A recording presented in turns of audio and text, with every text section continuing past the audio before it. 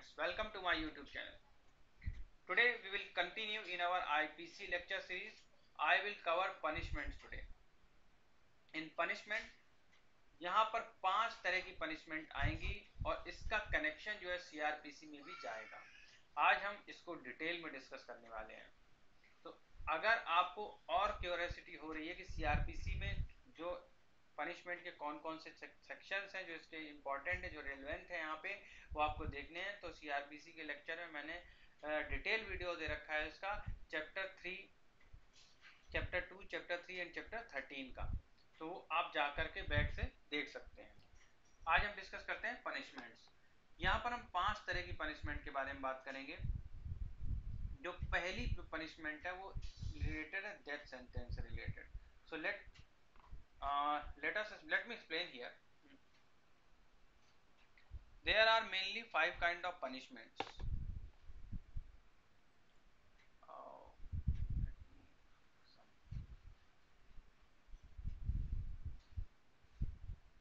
punishment. So we will discuss about punishment. The first one is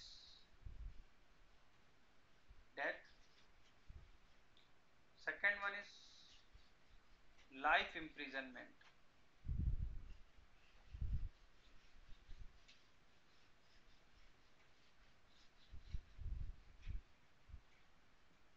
Third one is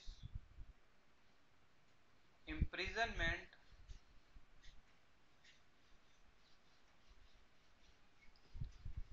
That imprisonment could be a simple imprisonment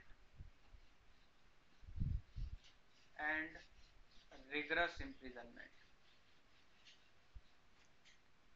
Fourth one is forfeiture of property.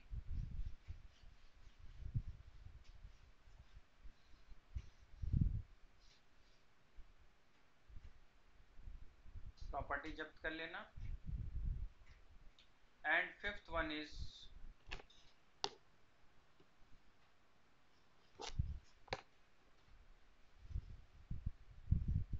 fine जुर्माना।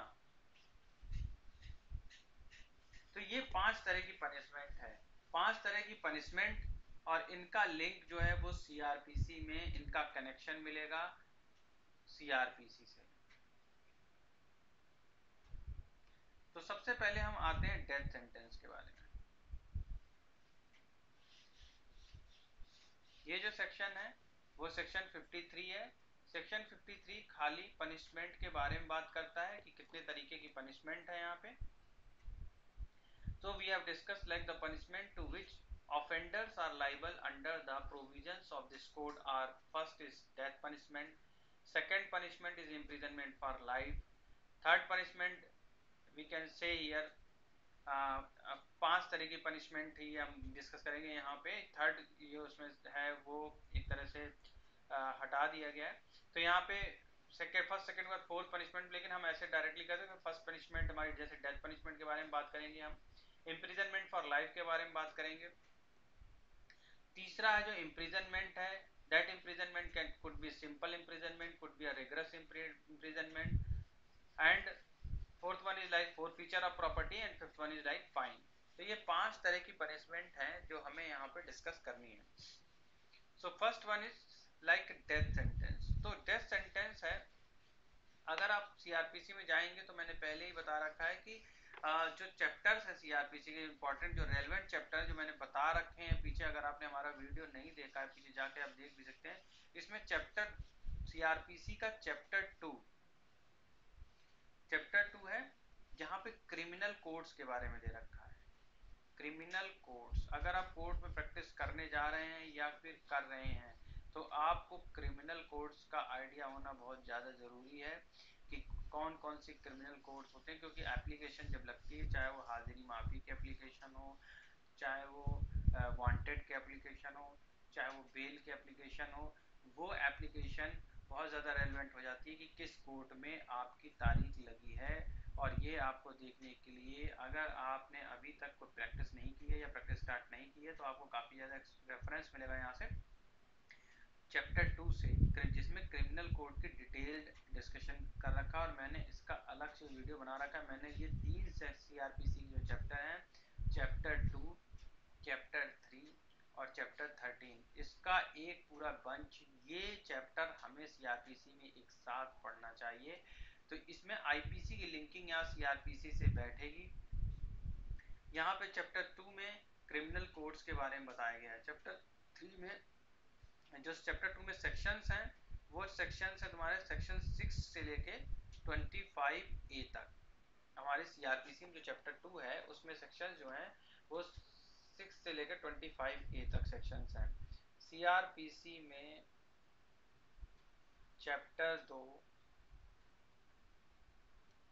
Chapter तीन और chapter thirteen अगर आपने अभी तक नहीं पढ़े हैं तो आप हमारा पुराना लेक्चर सीरीज़ देख सकते हैं। उसमें मैंने कवर कर रखा है डिटेल्स में, ये तीनों चैप्टर चैप्टर दो जो है, वो क्रिमिनल कोर्स है। कौन कौन सी क्रिमिनल कोर्स होती हैं, उनके बारे में मैंने डिटेल में बता रखा है चैप्टर दो, और इसमें सेक्शन है छः से लेके पच्चीस ए तक। चैप्टर तीन जो है तुम्हारा, वो तुम्हारा पावर ऑफ़ कोर्ट के बारे में बात करता है। किस कोर्ट के पास कितनी सजा देने की पावर है, वो पावर ऑफ़ कोर्ट जो है, वो चैप्टर थ्री में दे रखा है पावर ऑफ़ कोर्ट्स के बारे में। और जिसमें सेक्शन है 26 से लेके 35 तक। और फिर आता है तुम्हारा चैप्टर 13 चैप्टर 13 की जो रेंज है, वो है 177 से लेके 189 जो चैप्टर थर्टीन है, उसकी रेंज है 177 से लेके 189 ये बताता है क्षेत्राधिकार ज्यूरिस्डिक्शन के बारे में, कि किसी कोर्ट ने कोई मैटर सुन लिया और सुनने के बाद उसको कमिट केस को केस को सुन हियरिंग करने के बाद केस को फाइनल कर दिया और फाइनल करने के बाद उसमें एक अपील लग गई कि सर ये कोर्ट में इस मामले में तो फला फला जो कोर्ट है, उसको तो ज्यूरिस्डिक्शन था ही नहीं। तो ज्यूरिस्डिक्शन अगर कोर्ट के पास नहीं है तो वो उस मैटर को वो कोर्ट नहीं सुन सकता है। अनटिल अनलेस मैटर स्पेसिफिकली उसको कमिट ना किया जाए और उसके पास स्पेशल पावर हो उसे सुनने की। ठीक है? तो सीआरपीसी में जो रेंज है, वो बहुत मैटर करती है क्रिमिनल कोड्स की। यहाँ पे मैं कुछ क्रिमिनल कोड्स की रेंजेस आपको बताऊँगा।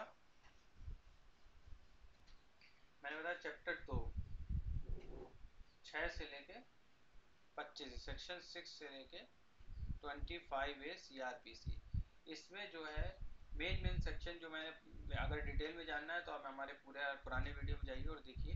मेन सेक्शन जो है, जैसे चाहे जुडिशियल मजिस्ट्रेट हो judicial magistrate judicial magistrate court है, वो सेक्शन 11 में दे रखा है। मेट्रोपॉलिटन मजिस्ट्रेट है।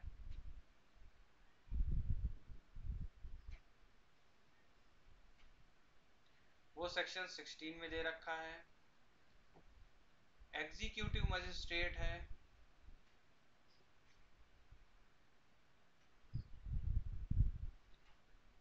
वो सेक्शन 20 में दे रखा है। सेशन कोर्ट है।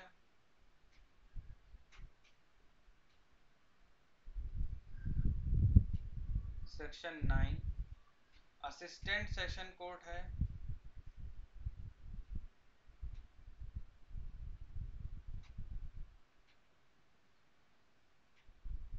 सेक्शन टेन पब्लिक प्रोसिक्यूटर है। सेक्शन ट्वेंटी फोर और असिस्टेंट पब्लिक प्रोसिक्यूटर है सेक्शन 25 ठीक है? एक बार मेरे साथ रिपीट कीजिए।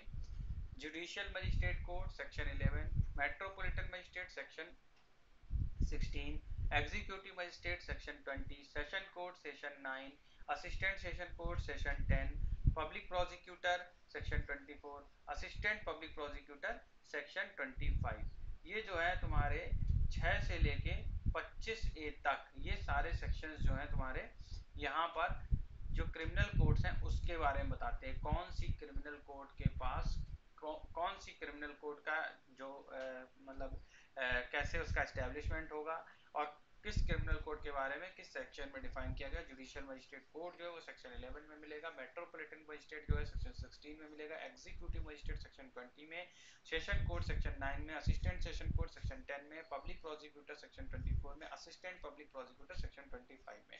कई बार काफ़ी इतने सारे जो सेक्शंस हैं, इनको मैंने बहुत ही प्यार से, बहुत अच्छे से सेग्रीगेट करके बताया है। कई बार जो है छोटी छोटी ट्रिक्स काम आ जाती हैं। मैंने अपने पुराने सीआरपीसी के लेक्चर में ये सारी ट्रिक्स बता रखी हैं, इन सेक्शंस को हम कैसे एक साथ मेमोराइज कर सकते हैं। तो अगर आप चाहते हैं, आप इंटरेस्टेड हैं तो आप जा सकते हैं हमारे सीआरपीसी के लेक्चर में और इसमें इसको कवर कर सकते हैं। सीआरपीसी के लेक्चर में जाकर देखिए तो यहाँ पर उसमें आपको समझ में आएगा। ठीक है? तो यहाँ पे देखिए कि ये जो सेक्शंस हैं, इस ये चैप्टर चैप्टर दो है चैप्टर चैप्टर थ्री जो पावर ऑफ़ कोर्ट है सेक्शन 26 से लेकर 35 तक। चैप्टर फोर इसी तरह से सुपीरियर ऑफिसर की पावर के बारे में सुपीरियर सुपीरियर ऑफिसर को असिस्ट करना, उसके बारे में बता बता रखा है सीआरपीसी में। रेंज याद करना बहुत ज़रूरी है। अगर आप एग्ज़ाम के पॉइंट ऑफ़ व्यू से देख रहे हैं, क्योंकि कई बार ऐसा है होता है कि सेक्शन आपको याद नहीं आते हैं, इसलिए रेंज याद करना बहुत इंपॉर्टेंट है मस्ट है। तो इसलिए मैं टाइम टाइम पे अपने अपने लेक्चर में रेंजेस रिकॉल कराता रहता हूँ और आप लोगों को की ड्यूटी बनती है कि उस, अगर आपने रेंजेस नहीं याद किए तो आप प्लीज़ इन रेंजेस को अच्छे से याद कर लीजिए क्योंकि सी हो या आईपीसी इसमें रेंज बहुत इंपॉर्टेंट है। चैप्टर फोर चैप्टर फोर में दे रखा है सुपीरियर ऑफिसर को असिस्ट करना। सीआरपीसी में जो चैप्टर फोर है टू असिस्ट सुपीरियर ऑफिसर ये भी मैंने इसका भी लेक्चर सी का दे रखा है। मेरे पुराने वीडियोस में आप जा करके देख सकते हैं। यहाँ पर जो पब्लिक की ड्यूटी है कि पब्लिक जो है पब्लिक की ड्यूटी के बारे में बता रखा है कि पब्लिक कब किसी अपराधी को पकड़ के पुलिस को सपोर्ट कर सकती है। तो इसके बारे में पब्लिक की ड्यूटी इसके बारे में बता रखा है।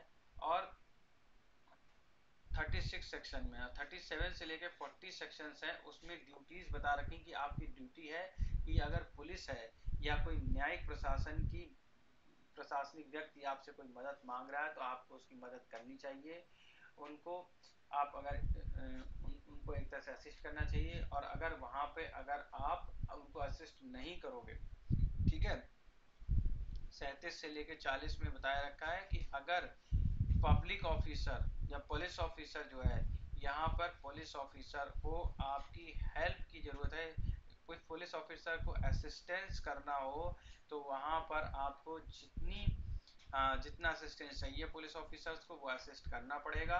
और अगर ऐसा नहीं करते तो ऑफेंस बनता है एक सौ सतासी का अपराध। 187 का ऑफेंस बनता है यहाँ पे।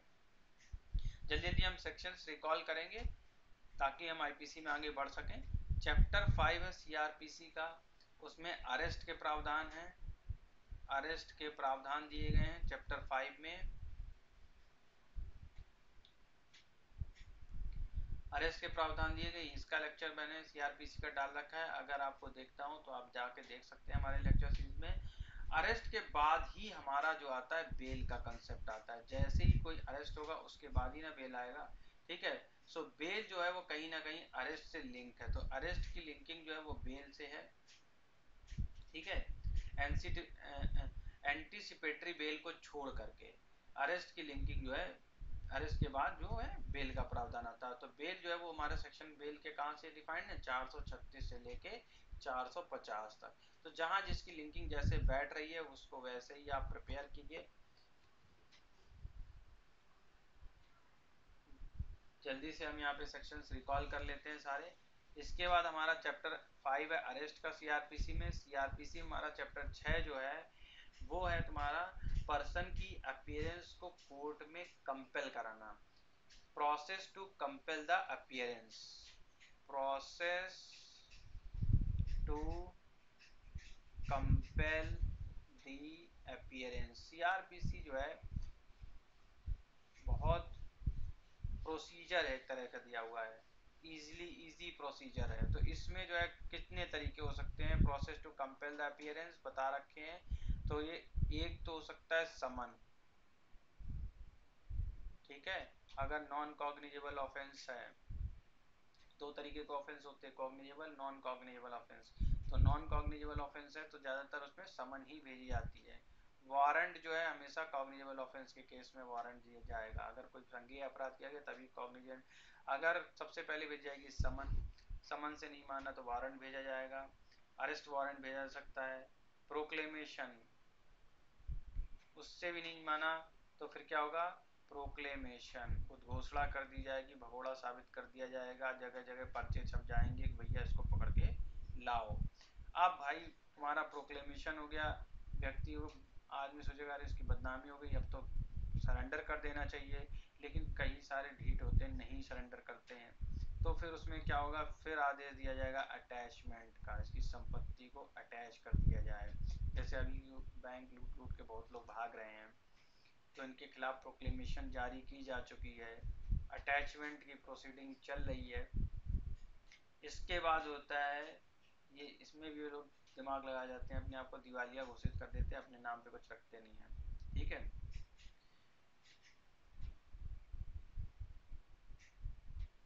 तो सबसे पहले जो है समन समन के बाद वारंट वारंट के बाद प्रोक्लेमेशन प्रोक्लेमेशन के बाद अटेंच अटैचमेंट और warrant in lieu of addition to summons ठीक है? तो इसमें जो है कब हो सकता है? किस केस में बॉन्ड साइन करा लेते हैं, ठीक है? तो ये चैप्टर छः है जो process to compel the appearance है। एक बार प्रोसेस है अपियरेंस के लिए कंपेल करने के लिए, फिर चैप्टर सात आ जाता है। चैप्टर सात में क्या है? Process to compel the production of thing production of thing ठीक है? Process to compel the production of things इसमें सेक्शन है 91 से लेके 105 तक। इसके बाद जो है रिसिप्रोकल अरेंजमेंट ठीक है 105 ए आता है इसी में। इसमें समन का प्रोसीजर दे रखा है सर्च वारंट है, और इनके करस्पॉन्डिंग क्या क्या रेमेडीज हैं। समन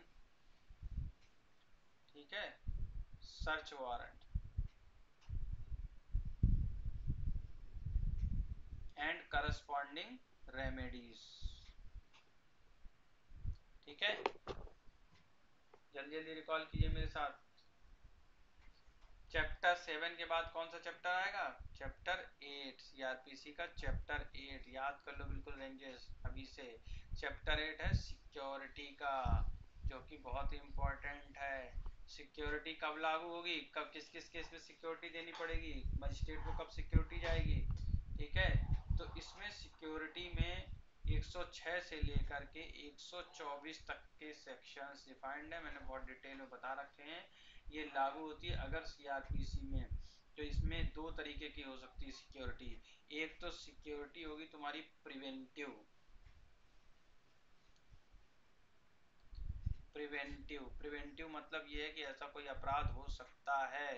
मतलब दो गुटों में संघर्ष चल रहा है और दोनों आपस में जो है ऐसा लग रहा है कुछ बवाल कर सकते हैं। तो उनको प्रिवेंटिव सिक्योरिटी ले करके मजिस्ट्रेट जो है वो प्रिवेंटिव सिक्योरिटी ले करके चैप्टर एट के अंतर्गत उसको दोनों को एक तरह से छोड़ सकता है।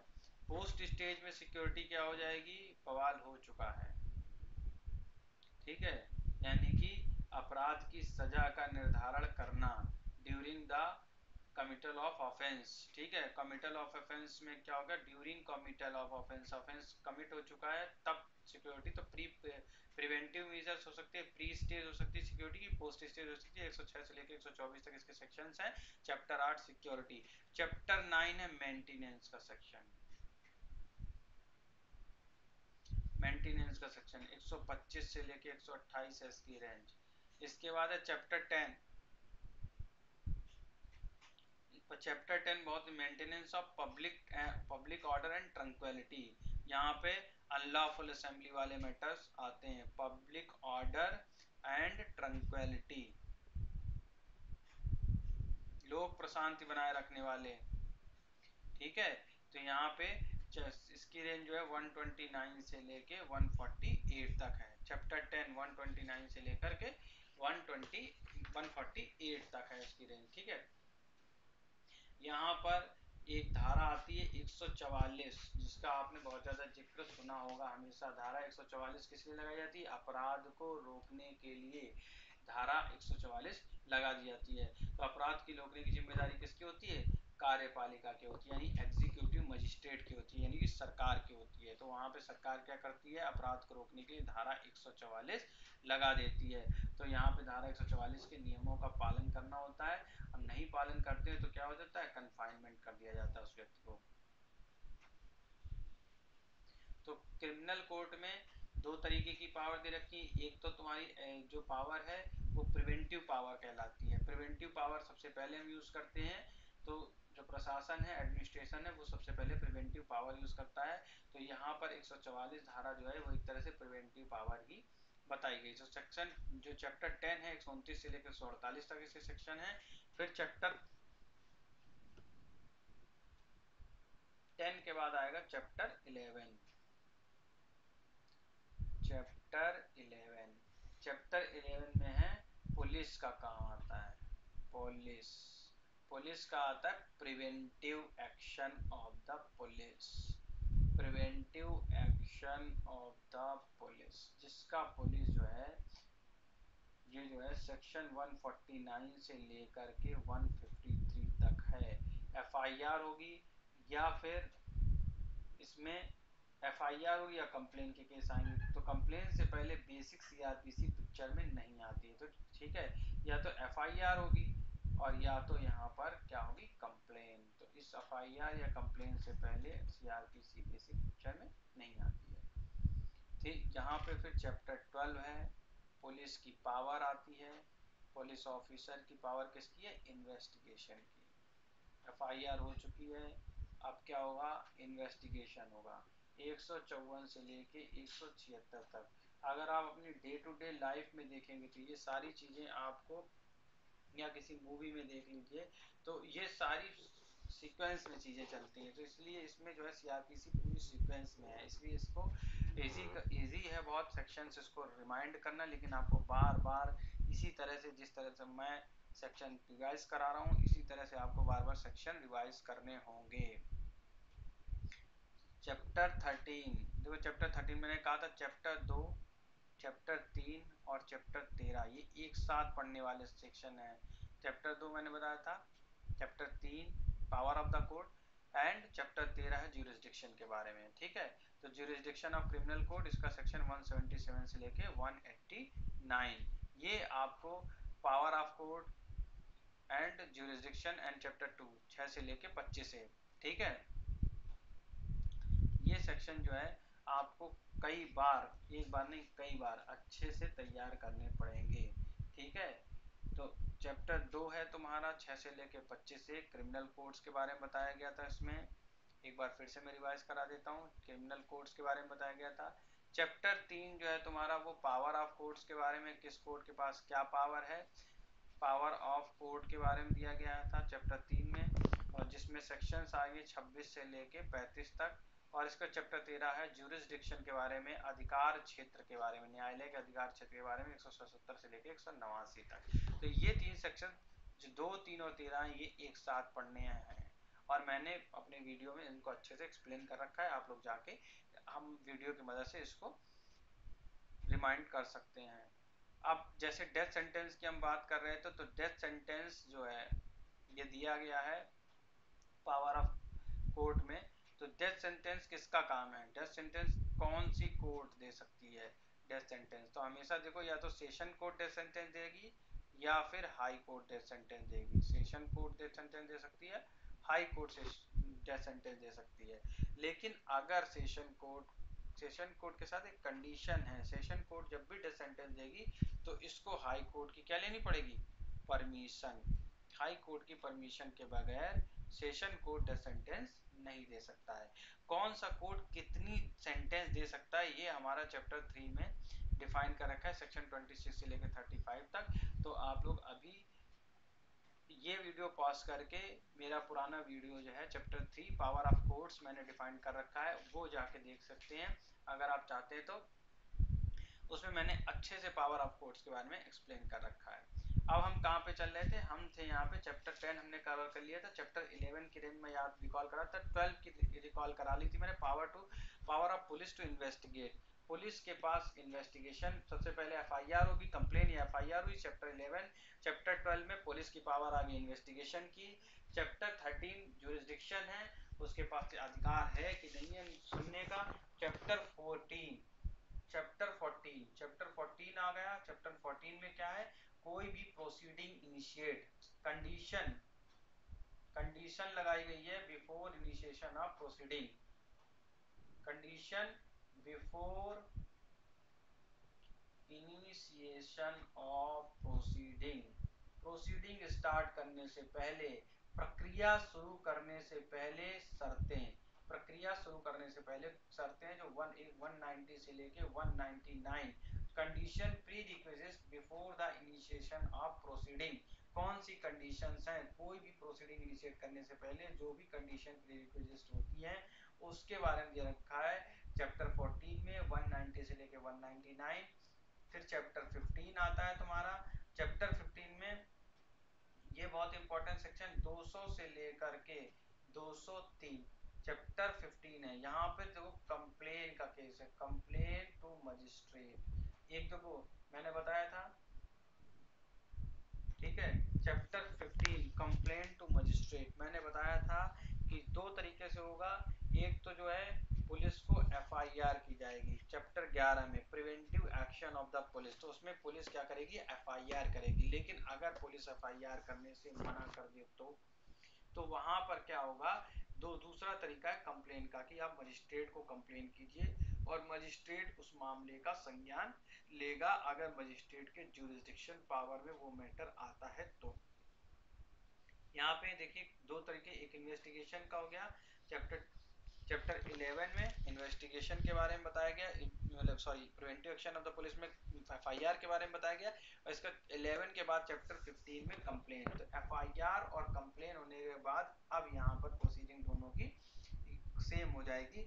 सेम हो जाएगी, यानी कि चैप्टर 16 से। चैप्टर 16 में, यानी कि 11 में एफआईआर हो गई, या फिर चैप्टर 15 की कंप्लेन हो गई। चैप्टर 11 में एफआईआर या चैप्टर 15 में कंप्लेन और यहाँ से एफआईआर या कंप्लेन होने के बाद अब प्रोसीडिंग कमेंसमेंट होगी। कमेंसमेंट ऑफ़ प्रोसीडिंग चैप्टर 14 ध्यान रखना 190 से निन्यानवे condition pre request before initiation of proceeding यहाँ पे चैप्टर 16 होगा। चैप्टर 16 के बाद में चैप्टर 16 क्या commencement commencement of sorry commencement of proceeding proceeding अब प्रोसीडिंग शुरू की जाएगी। कार्रवाई प्रारंभ की जाए। यानी कि सबसे पहले कार्रवाई प्रारंभ की जाए 204 से लेकर के 210 तक। कार्यवाही प्रारंभ की जाए 204 से लेकर 210 तक। ठीक है? अब देखो 204 से लेकर 210 तक इशू सबसे पहला क्या होगा? अगर कार्रवाई शुरू की जाएगी तो issue of process issue of process process issue करना प्रोसेस को इशू करना। क्या इशू क्या प्रोसेस इशू किया जाएगा? अगर समन है तो सामने वाली पार्टी को समन जारी किया जाए, और नहीं तो वारंट है तो फिर वारंट एग्जीक्यूट कराया जाए। तो ये है इशू ऑफ़ प्रोसेस जिसको 204 में डिफाइन किया गया कि प्रक्रिया को शुरू करना या प्रक्रिया को जारी रखना। प्रक्रिया को जारी रखने का इनिशियल स्टेप सीढ़ी नंबर एक, समन। समन या वारंट इशू ऑफ़ प्रोसेस 204 204 से लेके 210 commencement of proceeding commencement of proceeding प्रक्रिया को शुरू करना इशू ऑफ़ प्रोसेस 204 अगर समन है तो समन जारी किया जाए, नहीं तो वारंट जारी किया जाए। ठीक है? यहाँ तक समझ में आया? अब समन है या समन भेज दिया गया वारंट जारी कर दिया गया, सामने वाली पार्टी अपने ऊपर लगे जितने भी चार्जेस हैं, उसको एक्सप्लेन करेगी। किसमें? चैप्टर 17 में। चैप्टर 17 में जो चार्जेस लगे हैं, सामने वाली पार्टी के ऊपर चार्ज लगाए जाएँगे। 211 से लेकर के 224 तक के सेक्शन है, बड़े प्यारे प्यारे से। इन्हें आप लोग चार्जेस जो चार्जेस लगे हैं, सामने वाली पार्टी के ऊपर चार्ज लगाए जाएँगे और उसके ऊपर जो चार्ज लगाए गए कोर्ट उस पर अब ट्रायल शुरू करेगा। चैप्टर 17 चार्जेस है। चार्ज फ्रेमिंग से लेकर ट्रायल एक चार्ज फ्रेमिंग यानी कि ट्रायल का एक हिस्सा है। यानी कि ट्रायल जो है कोर्ट कॉग्निजेंस लेने के बाद की जो प्रक्रिया है कोर्ट जब मामले का संज्ञान ले लेता है तो उसके बाद की प्रक्रिया है ट्रायल जब कोर्ट ने मामले का संज्ञान ले लिया है कोर्ट ने किसी मैटर को संज्ञान में ले लिया है तो उसके बाद की प्रक्रिया है कॉग्निजेंस लेने के बाद की प्रक्रिया क्या है? ट्रायल है। कोर्ट ने किसी मैटर को संज्ञान में लिया, उसके बाद की प्रक्रिया ट्रायल है, चाहे वो एविडेंस की, कोर्ट चाहे वो एविडेंस को सुन रहा हो, चाहे कोर्ट वो एविडेंस को सुन रहा हो। देखो, ये राइटिंग जो है इस पर मत जाओ। मैं जो बोल रहा हूँ, उस पर जाओ क्योंकि तो यही इम्पोर्टेंट है। मेरी राइटिंग अच्छी ख़राब से आपको कोई लेना देना नहीं होना चाहिए, क्योंकि जो आप लिखोगे वहाँ पे तो आप अपनी राइटिंग में लिखोगे, ठीक है? अगर समझ में नहीं आ रहा है तो आप मुझसे कह सकते हैं कि, सर, मुझे यहाँ पे समझ में नहीं आ रहा है। ठीक है?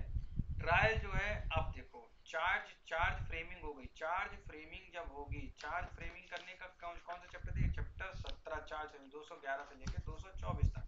अब ट्रायल जो है,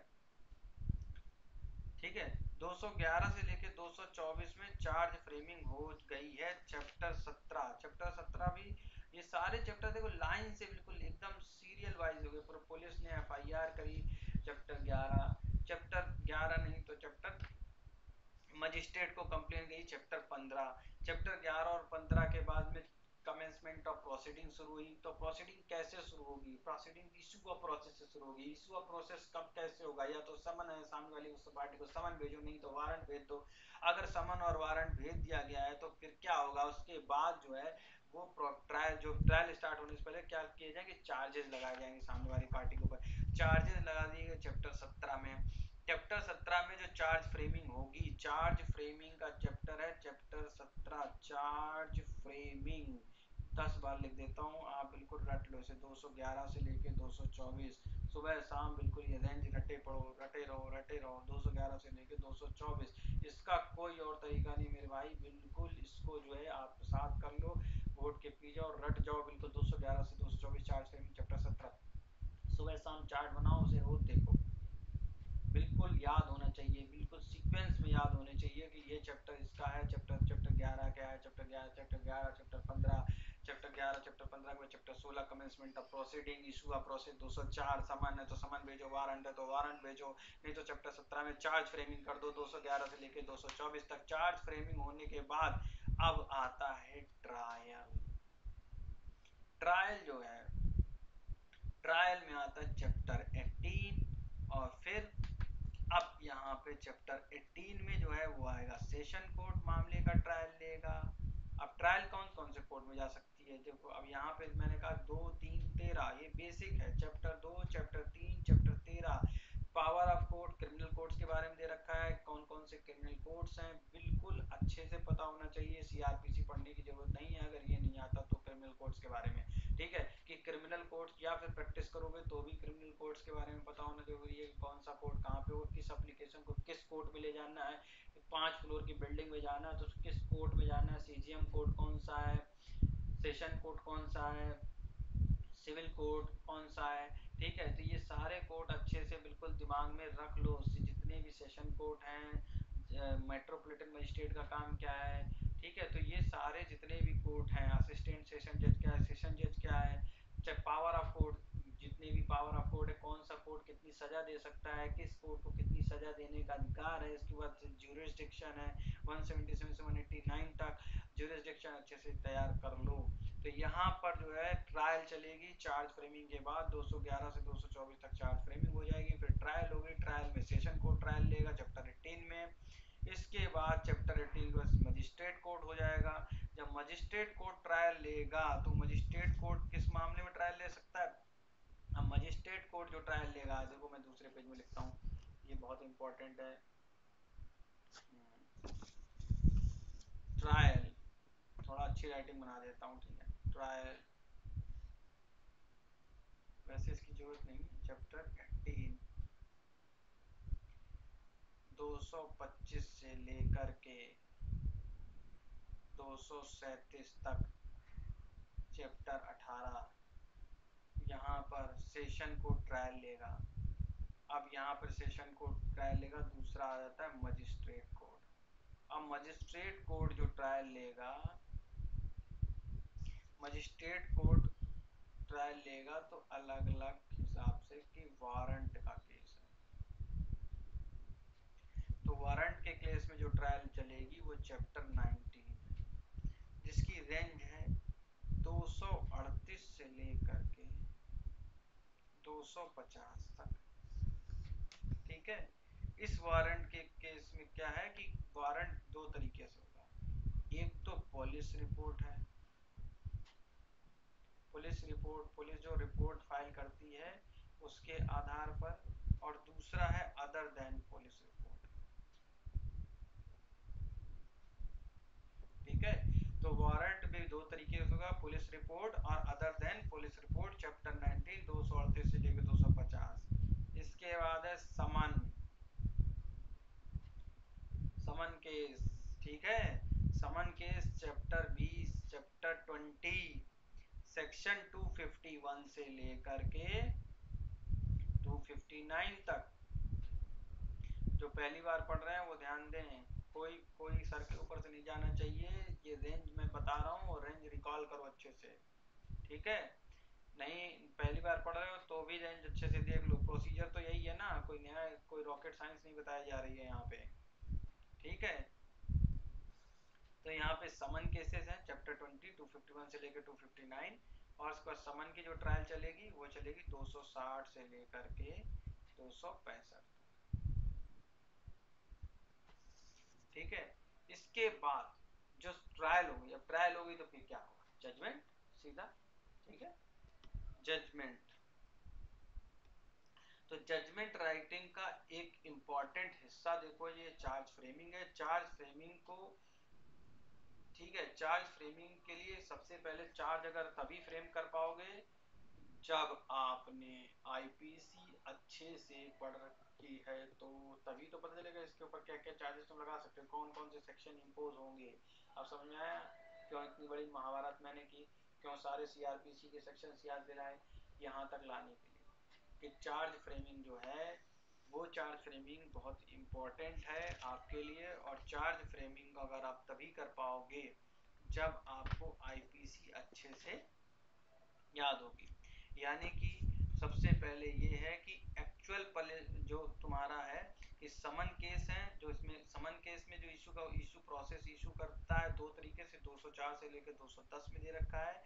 और ट्रायल में भी, देखो, समन और वारंट दो जगह इशू होता है। एक तो प्रोसेस इशू किया जाता है 204 से लेकर 210 में, ठीक है? और दूसरा ट्रायल में भी समन और वारंट इशू होता है। ठीक है? पुलिस को कोई लेना देना नहीं है कि मामला समन है या मामला वारंट है। 99 परसेंट रोल क्राइम के मामलों में होता है पुलिस का, ठीक है? तो ऑफेंस है, अगर ऑफेंस है तो या तो समन इशू होगा या वारंट इशू होगा। संज्ञेय अपराध है या फिर असंज्ञेय अपराध है, कॉग्निजेबल है या नॉन कॉग्निजेबल ऑफेंस है तो फिर कॉग्निजेबल ऑफेंस नॉन तो वेलेबल मामला है या फिर नॉन वेलेबल मामला है। तो यहाँ ऑफेंसेस की जो कैटेगरी है, वो डिफाइंड होती है समन केस है या वारंट केस है। फिर मामला संज्ञेय है या मामला असंज्ञेय है, मामला जमानती है, या मामला गैर जमानती है, इसके बाद ऑफेंस जो कंपाउंडेबल है या नॉन कंपाउंडेबल है, देखो ये सब चीज़ें जो है, ये आपस में लिंक्ड है। कोर्ट से वारंट या समन जारी होता है तो पुलिस को उसकी तामील करानी पड़ती है। कोर्ट ने जब समन या वारंट जारी कर दिया तो पुलिस का काम है कि उस समन या वारंट को एग्जीक्यूट कराना, उसकी तामील कराना। कोर्ट ने कुछ भी जारी किया, समन जारी कर रहा है या कोर्ट वारंट जारी कर रहा है तो पुलिस क्या करेगी? पुलिस का काम है उसकी तामील कराना, समन की समन की या वारंट की तामील कराना। वारंट जो है वो पुलिस अधिकारी का नाम है, उसके नाम पर वारंट हमेशा जारी होगा, उस व्यक्ति, विशेष के नाम पे वारंट कभी जारी होता है। बाकी समन है या वारंट है इसमें पुलिस अधिकारी जो होता है, वो उसकी तामील कराएगा। पुलिस पुलिस पुलिस का काम है उसकी तामील कराना। वारंट पुलिस के नाम पर आता है तो पुलिस की ड्यूटी बन जाती है कि वो उसको कैसे तामील और कोर्ट उसमें उसकी उसकी, उसको गाइड करती है। ट्रायल के मामले में अगर ट्रायल फेयर है तो ठीक है। ट्रायल फेयर नहीं हुई तो इसका मतलब ये है कि आपने बोल दिया साहब, आर्टिकल 21 संविधान में हमारा आर्टिकल 21 दे रखा है। उसका उल्लंघन हुआ है। यानी ट्रायल हमेशा फेयर ट्रायल होनी चाहिए। अगर एफआईआर है और कॉग्निजेबल वाला मामला है, उसमें एफआईआर दर्ज की जा सकती है तो पुलिस को सीधी पावर रहती है। नॉन कॉग्निजेबल देखो एफ़ ये ये बेसिक मैंने बता रखे हैं वैसे तो मैं दोबारा बता देता हूँ कि एफ़ जो है एफ़ हमेशा किसमें संज्ञेय मामलों में एफ़ दर्ज होती है, ठीक है? कॉग्निजेबल मैटर में ही एफ़ दर्ज होती है। तो यहाँ पे पुलिस के पास बहुत सारी पावर आ जाती है। पुलिस के पास पावर होती है काफ़ी सारी इन्वेस्टिगेशन वगैरह की। पावर पुलिस के पास होती है। लेकिन जो नॉन कॉग्निजेबल मामले हैं नॉन कॉग्निजेबल मामले हैं तो नॉन कॉग्निजेबल मामलों में ये जो है, कभी एफआईआर नहीं होती, हमेशा कंप्लेन होती है। ठीक है? तो नॉन कॉग्निजेबल में मजिस्ट्रेट मजिस्ट्रेट जो है उसके ऑर्डर करवाना पड़ता है अगर उसकी इन्वेस्टिगेशन करनी है इंक्वायरी करनी है तो। ठीक है? तो नॉन कॉग्निजेबल वाले मैटर में जो पुलिस है, उसके पास डायरेक्ट परमिशन नहीं होती है, उसको रिट पटिशन दायर होगी, तब जाके पुलिस उसको इन्वेस्टिगेट करेगी। ठीक है? तो मैंने बताया कि ये रेंजेस हैं। रेंजेस आपको बहुत अच्छे से रिकॉल करनी करनी पड़ेगी, बहुत अच्छे से आपको रिकॉल रहनी चाहिए रेंजेस ठीक है? तो अब हम अपने वापस जो हम बता रहे थे, उस पे आते हैं।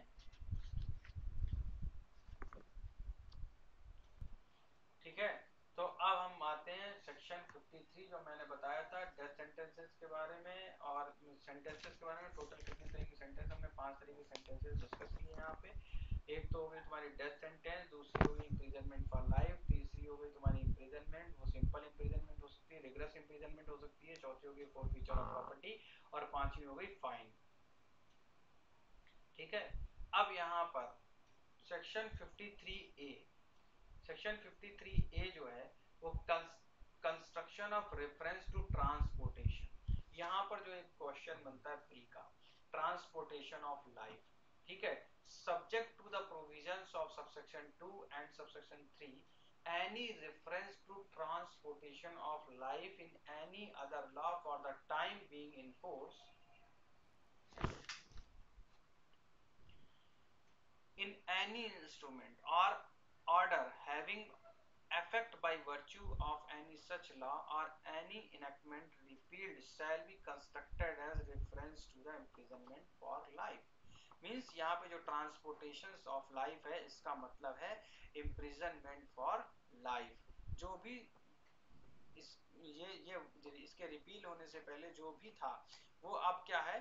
ट्रांसपोर्टेशन ऑफ़ लाइफ इसका मतलब हो गया यहाँ पे इम्प्रिजनमेंट फॉर लाइफ सो यहाँ पर एक चीज़ ये हमें देखनी पड़ेगी कि जो ट्रांसपोर्टेशन ऑफ़ लाइफ है सेक्शन 53 ए बहुत प्री में क्वेश्चन पूछा जाता है, इसलिए थोड़ा सा मैं ध्यान दे रहा हूँ इस पर ट्रांसपोर्टेशन ऑफ़ लाइफ यहाँ पे ट्रांसपोर्टेशन ऑफ़ लाइफ जो सबसेक्शन वन है, ये कह रहा है, इसका मत shall be constructed as shall be constructed as life imprisonment imprisonment of life transportation of life shall be constructed as imprisonment of life देखो second sub point subsection second कह रहा है कि जो अमेंडमेंट है अमेंडमेंट ट्वेंटी सिक्स ऑफ़ 1955 जो इस IPC जो है आईपीसी 1860 से पहले जो एक्ट था, उसमें जो अमेंडमेंट हुआ 1960 1955 का, जो 26 अमेंडमेंट हुआ, इसमें अमेंडमेंट 26 हुआ 1955 का, उसमें जो ट्रांसपोर्टेशन फॉर लाइफ था 26 अमेंडमेंट में ट्रांसपोर्टेशन फॉर लाइफ इसको सब्सटीट्यूट किया गया imprisonment of life life imprisonment तो इसको लाइफ इम्प्रीजनमेंट से सब्सटीट्यूट किया गया बस ये दूसरा पॉइंट ये कहता है ठीक है या amendment 26 of 1955 imprisonment for, for life were substituted for the word transportation for life. Sentence of transportation for the term has been passed before the commencement of this code. Transportation जो है इस code के commencement के पहले pass किया गया था. It offenders shall be dealt in the same manner as if sentence rigorous imprisonment of the same ठीक है जो जो rigorous imprisonment में punishment मिलती है imprisonment for life वही same punishment इसमें दी जाएगी section सब सेक्शन थ्री कहता है एनी रेफरेंस जो ट्रांसपोर्टेशन का कहीं पर भी रेफरेंस लिया गया अगर ट्रांसपोर्टेशन का कहीं पर भी कोई रेफरेंस है एनी रेफरेंस टू ट्रांसपोर्टेशन पर term in any law transportation का जो ट्रांसपोर्टेशन, जो लाइफ से संबंधित ट्रांसपोर्टेशन ऑफ़ लाइफ से संबंधित यहाँ पे ट्रांसपोर्टेशन का जो भी कहीं रेफरेंस है, वो अब वाइड हो चुका ठीक है? ये बात कहता है सबसेक्शन थ्री और सबसेक्शन फोर ये बात कहता है, बहुत इजी वे में मैंने समझाया है। सबसेक्शन वन कहता है 53 ए का कि transportation of life shall be constructed constructed as imprisonment of life section sub section two कहता है ट्वेंटी सिक्स अमेंडमेंट हुआ इसका 1955 का। तो इसमें जो ट्रांसपोर्टेशन ऑफ़ लाइफ जो है, इसका जो सब्सटीट्यूट है, वो इम्प्रिजनमेंट ऑफ़ लाइफ किया गया। सब सेक्शन थ्री कहता है ट्रांसपोर्टेशन कहीं पर भी किसी भी लॉ में अगर दिख जाए तो उसका मतलब अब कुछ नहीं है, वो वाइड है। ठीक है? और सब सेक्शन फोर कहता है इसका, जो transportation any other law for being in force in express means मतलब कि कहीं पे भी अगर एक्सप्रेसिवली दे भी रखा है ट्रांसपोर्टेशन फॉर लाइफ तो उसको कंस्ट्रक्ट कर दिया जाए imprisonment for of imprison life imprison imprisonment for life तो इसका कहीं भी कोई रेफरेंस मिल जाता तो उसको इम्प्रीजनमेंट फॉर लाइफ से कंस्ट्रक्ट कर दिया जाएगा। ठीक है? और ट्रांसपोर्टेशन वर्ड को ओमिटेड कर दिया जाएगा, जो ट्रांसपोर्टेड ट्रांस ट्रांसपोर्टेशन वर्ड है इसको ओमिट कर दिया जाएगा, इसको मिटा दिया जाएगा, ठीक है? तो आज हम इतने ही सेक्शन पढ़ते हैं सेक्शन 53 और 53 ए और मैंने सीआरपीसी की बहुत अच्छे से लिंकिंग समझा रखी है। अब आपके ऊपर है, आप इसको कितने अच्छे से प्रिपेयर करते हैं और किस तरह से आप पढ़ाई करते हैं।